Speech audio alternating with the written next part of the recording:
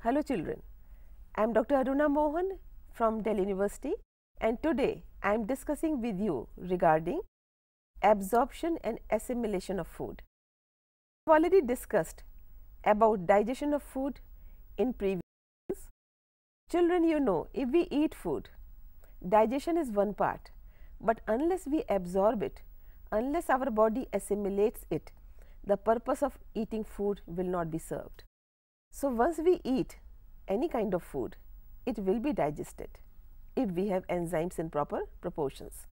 But once digestion is over, absorption is must. Unless we absorb it, we won't get the nutrients for which we are eating the food. So, coming to absorption, absorption is the process by which the end products of digestion pass through the intestinal mucosa into the blood or lymph. If I say blood or lymph, what do I mean by this? Children, you know that certain things can be absorbed by blood that is like protein, like carbohydrates, end products of protein and end products of carbohydrates. But fats can be reabsorbed only by lymph that means end products of fats will be absorbed by lymph.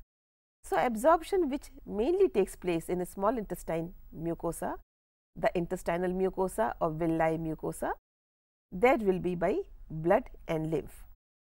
That is how the absorbed food will reach either blood or lymph and finally the body tissues.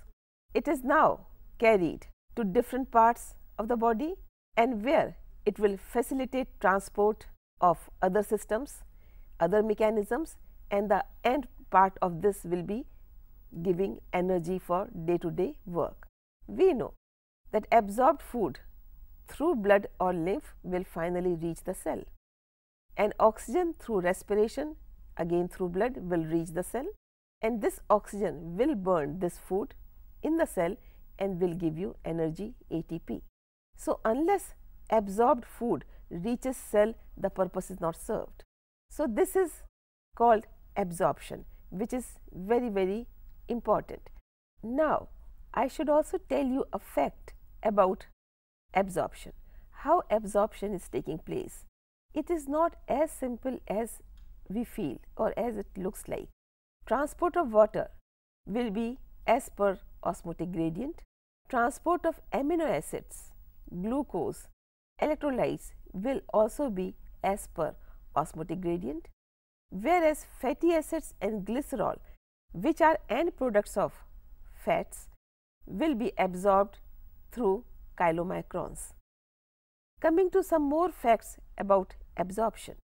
Absorption can be by simple diffusion, it can be by osmosis, it can be against concentration gradient and if it is against concentration gradient in that case energy is required. Body has to give energy to absorb it or it can be a co-transport along with some other substance one particular substance is transported or absorbed. So, for various ions for various end products we follow various kinds of transport mechanisms, but in the end all the end products of nutrients will be reabsorbed mainly in the small intestine. So far I was talking about absorption in relation to small intestine. Of course, small intestine is the part of alimentary canal where absorption is the main work, but absorption takes place in other parts of alimentary canal as well. It takes place in mouth, stomach, intestine that is small intestine, large intestine. Of course, the maximum absorption is in the small intestine. Now, I will give some details about what is absorbed in which part of alimentary canal. Coming to details of absorption, mouth. Certain drugs are absorbed right in the mouth. You must have seen some heart patients putting tablet under the tongue. The absorption is taking place right in the mouth. Similarly, some other medicines also. So, absorption begins in the mouth itself for certain drugs, But coming to other things like water, stomach is the area where water will be reabsorbed, simple sugars will be reabsorbed and alcohol will be reabsorbed. Here I would like to give emphasis to water and alcohol. If I say water is primarily absorbed in stomach, what do I mean by this children? You must have heard people saying don't drink water along with eating of food or drink before eating food or drink after eating food all those things you must have heard. Now let me tell you details behind all these statements. If you take water before food or just in between sometimes not during eating otherwise then it is absorbed in the stomach. But if you are taking water when you are eating food then also it will be absorbed, but not in the stomach because now water is mixed with the food.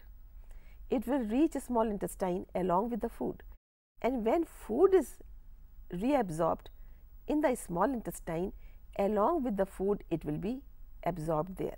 So, whatever water you drink it will be absorbed, but if it is only water not food then it is absorbed early that is only in the stomach. But if you are taking water along with the food, then it remains in your alimentary canal for longer period and it will be absorbed when it reaches small intestine. That means you will feel little heavier in the alimentary canal for some time, but it is not going to cause any harm to you or to alimentary canal and water absorption will also take place. So, that is a difference between taking water before food and taking water along with the food. But if you feel thirsty, you must drink water. Your body needs it. More water you drink, better it is for your body, for your kidneys. So, if you are not able to follow that I should not drink water along with the food, if you are not able to follow this, then you can drink whenever you want. I have told you the difference in absorption, otherwise there is no other difference.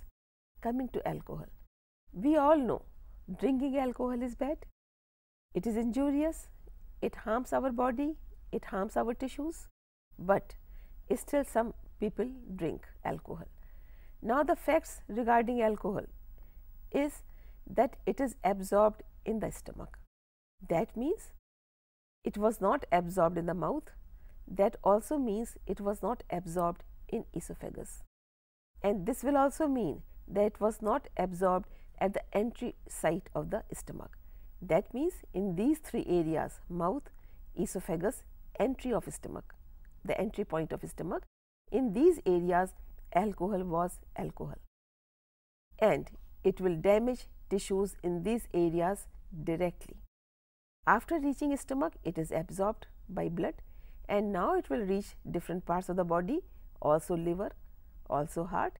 And now it will start damaging other tissues like liver, like kidneys, like heart.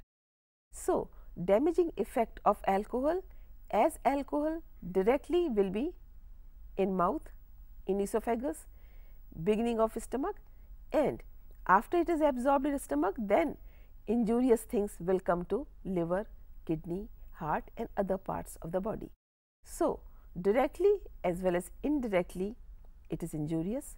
You must have seen or heard that those who drink alcohol too much they have ulcer in the mouth, they have cancer in the throat or they have uh, some problem with the entry point of the stomach. It is for this reason that alcohol is moving as pure alcohol in these three areas.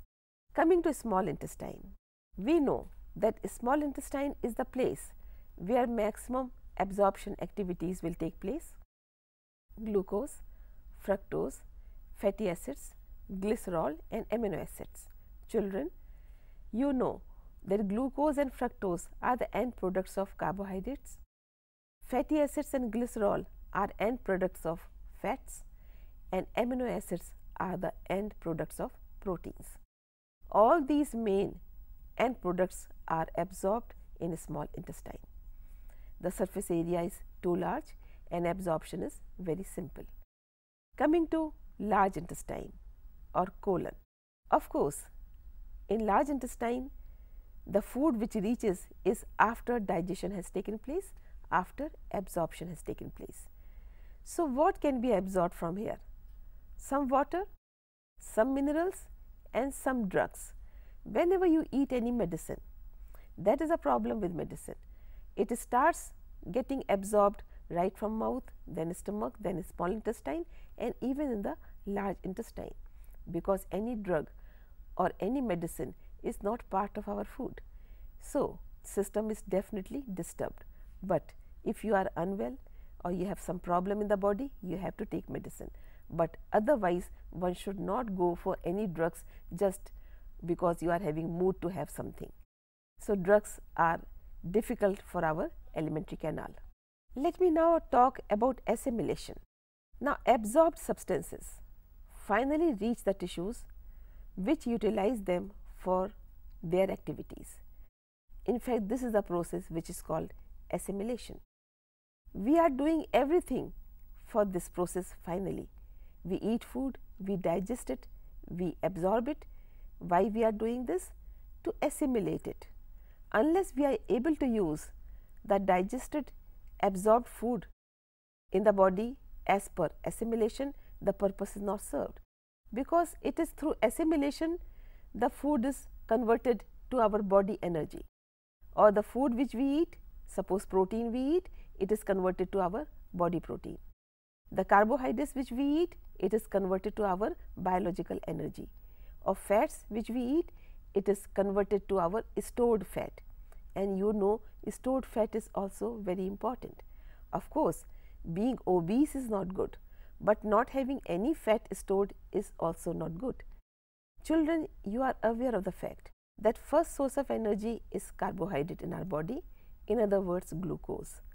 That is why if you take any carbohydrate rich food, you get instant energy and this is also the reason why we have to take either rice or wheat in our staple diet. You can't feel contented and satisfied only by eating proteins or only by eating fats. So, carbohydrate or starch rich food is the energy giving food and that is the first source of energy. You come to the class, you come to the school, you are studying, reading, giving tests, doing assignments, all these energy or you are going to playground playing having walk in the field, anything which you do, it needs day to day energy and that is provided by carbohydrate. That means first source of energy is not protein. That also means first source of energy is not fat. Then what is happening to our protein food and the fat rich food? That is also needed in the body in some amount. So, I have already explained now that why carbohydrates and starch in form of wheat and rice are important for us. And why protein is also important? Because when you eat protein, it is converted to its raw material amino acids and then body will reform protein from these raw material amino acids and now this protein will be part of your muscle protein.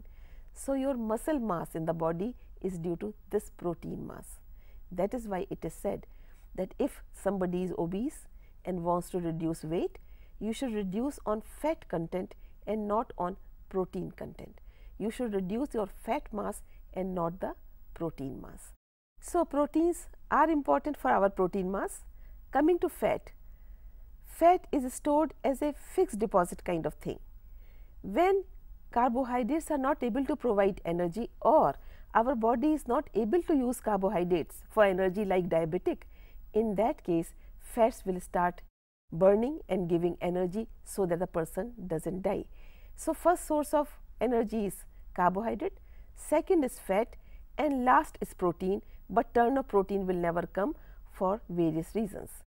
The last part of alimentary canal that is large intestine and rectum are involved with the process of defecation. The food after digestion, after absorption, after assimilation, whatever is left that is converted to feces and this will be thrown out through anus in the form of fecal matter, the process called defecation. With this, we come to the end of this session. Thank you.